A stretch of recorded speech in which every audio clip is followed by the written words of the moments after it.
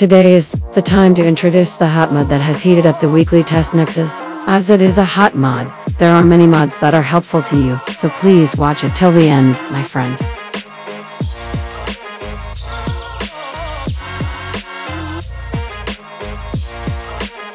This mod will completely remesh the vanilla assault rifle with a new design, attempting to make this thing look like a modern machine gun.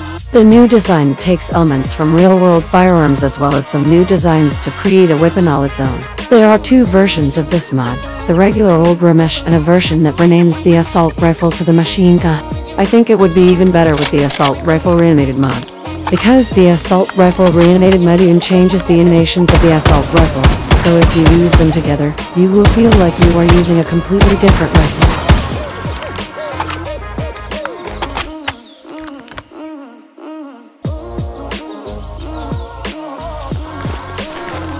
Temporal anti-aliasing flicker fixer mod effects is a very annoying issue when you use temporal anti-aliasing.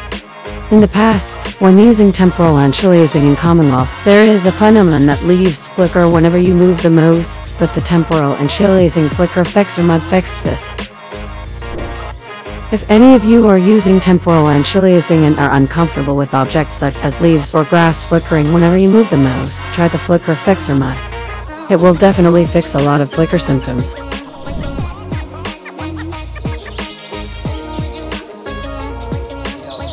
Obi's Goth Girl pack adds several outfits to match the Goth Girl them. Before using this outfit, you will need to modify the mesh using the BodySlide to match the body style your character is using. Overall, it is a casual Goth Girl outfit, and it has a modern feel. And the 3-6 effects are great too. If you are using a female character, be sure to try it on. However, since there are no shoes in the costume, it is recommended to use the shoe mod created by the creator together. This concludes the introductory video. The subtitles for this video were created based on the creator's description. Thank you so much for watching the video till the end. Subscription like notification setting is very helpful for the growth of this channel. See you next time.